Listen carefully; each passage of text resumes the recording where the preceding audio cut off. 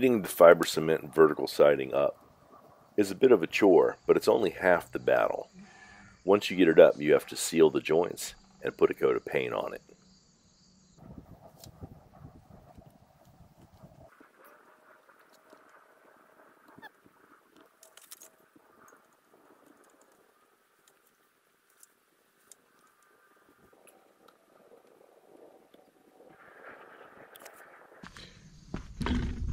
All I'm doing right now is caulking the seams and then I'm following up, dipping my finger into some water and running it down to smooth it out and press it in to make it fills, make sure that it fills the void completely.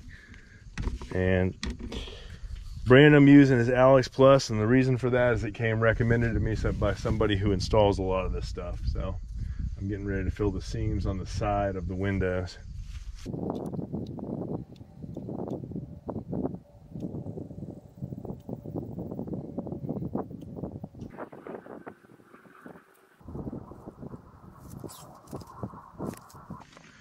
There's really nothing fancy to this.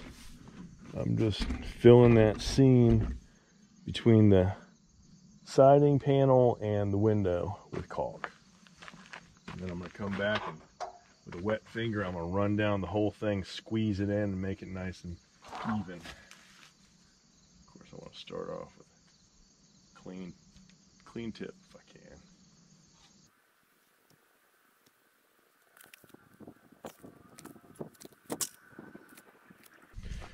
This is not the glamorous part for sure, but tomorrow we'll come in here and we'll put a coat of paint on it. It'll look pretty good. So, and I'm working on getting somebody up here to take care of this electric for me as well. So get that electric panel in, get that approved, get them to cut the trench and then put the electric line in. That'd be a big thing.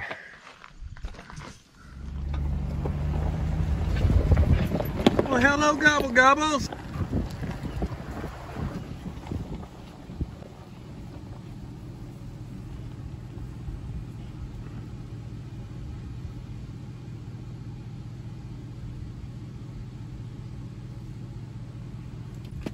What do you think, Apollo? Huh? What do you think? He's about to lose his mind. Well, I got off work, came out here. It's uh, about six o'clock. As soon as I got the lid off the bucket, it started to rain, but it only lasted five minutes. And none of it got on this side of the house. It was coming from the other side. There's a big storm about five miles that way, just dumping buckets of rain. But the wind is heading that direction, and I'm hoping there won't be anything following it up. There's nothing in the forecast. I should probably be able to get this painted today.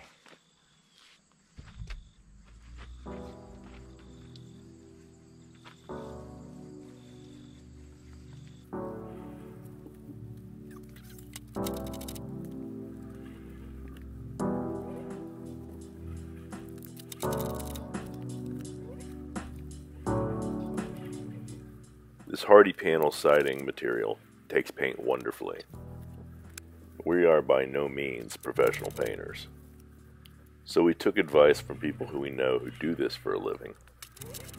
Chose a really good quality paint.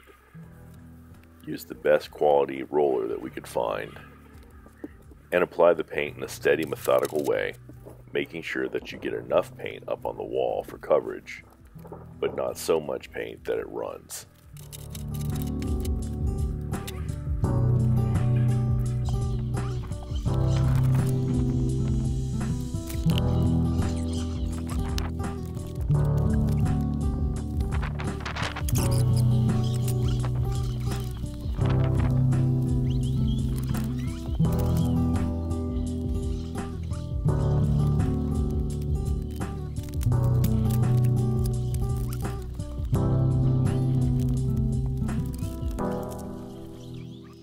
Time to remove any paint that gets on the edge or side of the window is now while it's still wet.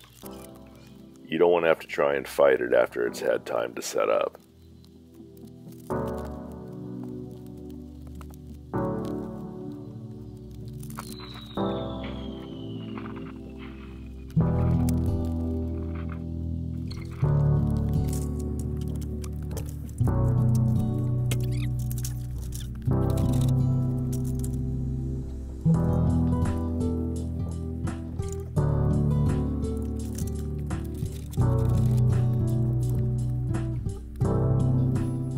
Like a lot of things on this build, when you get one thing fixed, it reveals something else that needs attention. We will have to clean and repaint block walls. And then we'll have to figure out a way to get the landscaping straight so that the clay doesn't keep splashing up on them.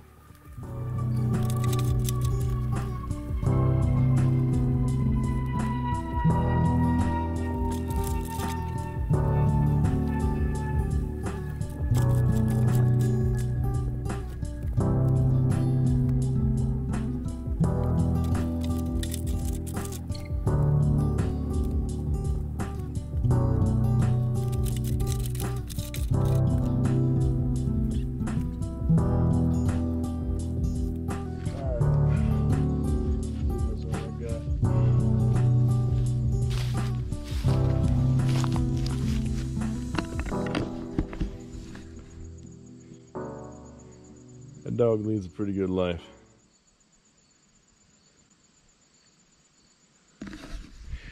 Not bad for a little rescue dog from the streets of Cadiz, Spain.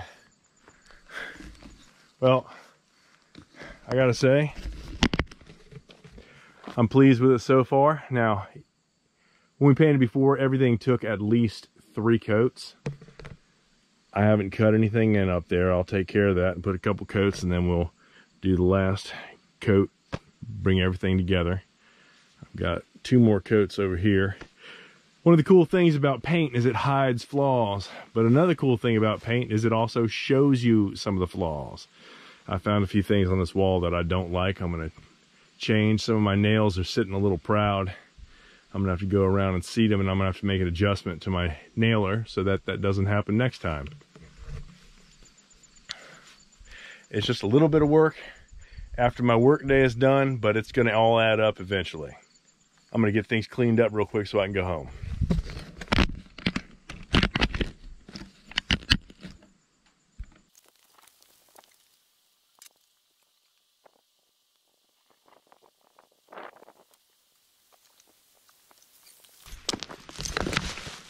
Yeah, he's definitely ready to go home. Hold on. Forgot all about this wood I got up here. Yep. Let me do something with that. We didn't even make it off off the build site. So I don't know what that paint's gonna look like, but if it's messed up, we'll do it again. Today, I'm heading to pick something up for the farm. Now, Jafana and I are having our seven year anniversary real soon. She's been asking me to teach her how to drive the tractor with the rotary cutter on it. And I don't want to. It's kind of dangerous. Sometimes I don't like doing it. There are a lot of areas we'd really like to get into with that tractor that just seem a little too steep, a little too dangerous. And it would be great if we could get a piece of equipment that could handle that. Well, that's what I'm getting ready to go pick up. And the romantic guy that I am, this is pretty much Jafana's anniversary gift. As I said before, I know what romance is. I'm getting her exactly what I know she wants.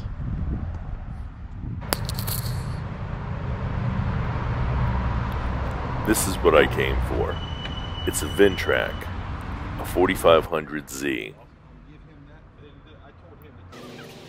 They answered some last minute questions that I had about it, gave me a crash course in how to turn it on and operate it, and then I loaded it up on the trailer.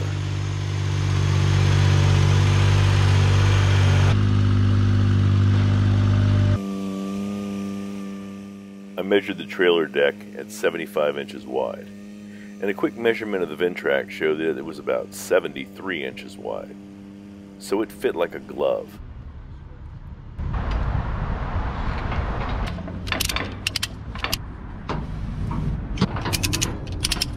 Well, I'm here with Tim from Piedmont Power, and I'm getting ready to hop in and take this thing home and put it to work. Tim, I appreciate it. Anytime, sir. Thank you. I'll be giving you a Dave. call. Let me know when those parts come in. I will. Yes, sir. All right, thanks a lot. All right, man. Tim was real good, helped me get a decent setup on this mower. And uh, it's not just a mower, this is a tractor. It may look like it's just a lawnmower, but if you've never seen one of these things before, you're in for a treat.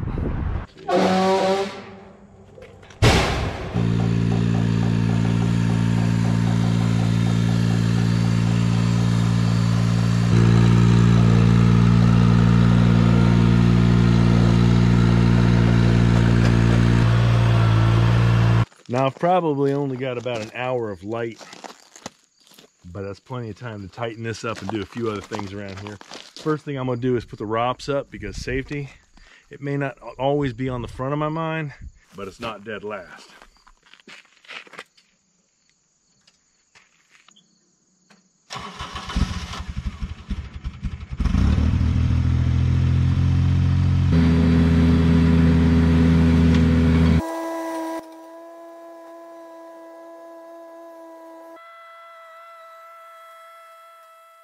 While I was cutting my teeth on the Ventrac, the sun was busy dipping down over the mountain. It was starting to get dark, but I figured I still had a little bit of time to put this thing through some paces and shake it out just a bit. Now I got up out of the seat just now, and there's a safety mechanism on it that turned that off. But, yes, I've been out here about 15 minutes. Cutting my teeth on it. I've never run one of these before. This is a Ventrac 4500Z, and this is a brand new tough cut mower deck on the front of it. 68 inches wide, capable of handling things about inch and a half to two inches thick and this thing is chopping it up now i've pushed some of these bigger bushes down did just fine we're to go over here and we're to clear the entryway an area that i can't get into with the tractor just because there's too many obstacles well i can't get into with the Kioti and the rotary cutter but i can get into it with this tractor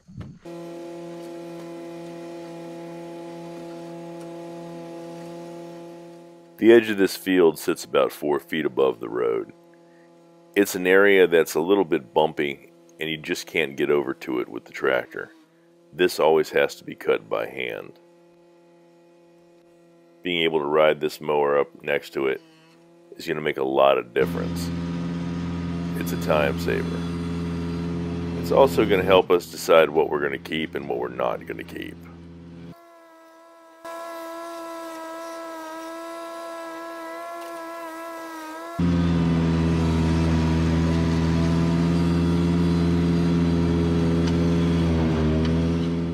The area that I'm mowing, when we bought this land six years ago, was all forested.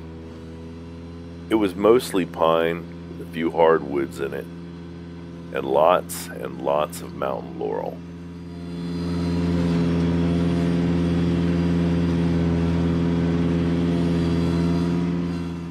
Mountain laurel is hardy, grows in a lot of rough environments around here. It was nice to have something green, something that I didn't have to work hard to keep alive.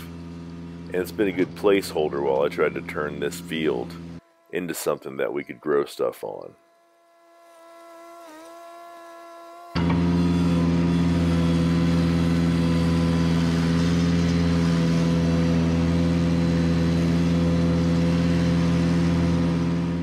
This road edge is positioned with a couple of oak trees that we decided to keep in such a way that the tractor, the large tractor, can't get back in there.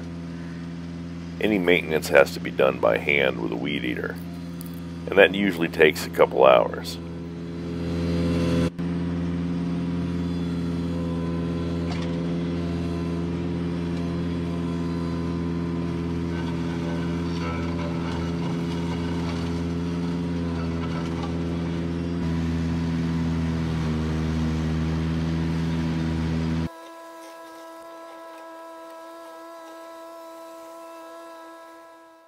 This area was the entryway onto our property when the loggers were here removing all the trees. It has pretty much just remained an overgrown scar since then. It's very difficult to get in, and unless you get in and you spend half a day with a weed eater, you're not really going to be able to make much a dent in it.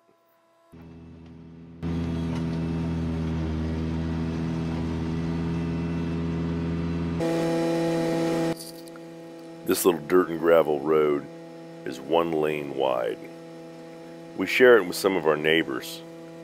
And if you're going one way and a neighbor's going the other way, somebody's got to find a way off the road in order for you to pass. Right here, I left an area wide enough so people could pull over, and I lined the edge of it with some trees and logs. Unfortunately, it overgrows so much that I don't think anybody wants to pull their vehicle over there. So being able to tighten that up really quick, this took me less than five minutes. That's a big deal.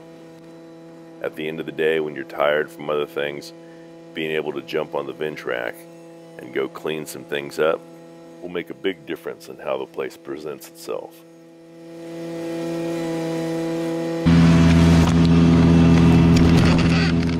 I wish I could say that this was the magic bullet that was going to make everything beautiful. But really, when you're out here, there's no one thing that's going to do that, except grit and hard work.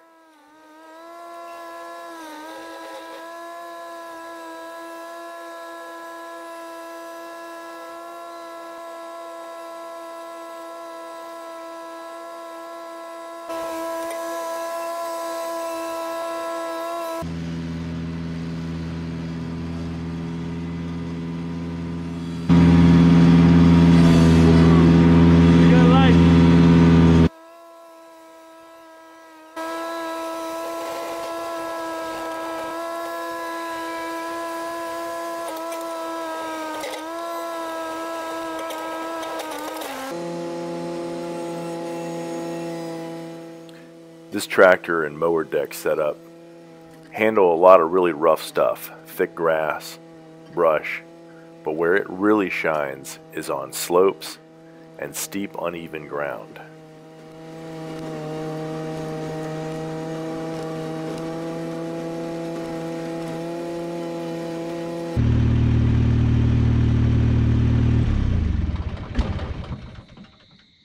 Well, you can probably tell I was starting to have a lot of fun there toward the end, especially over there on the dam.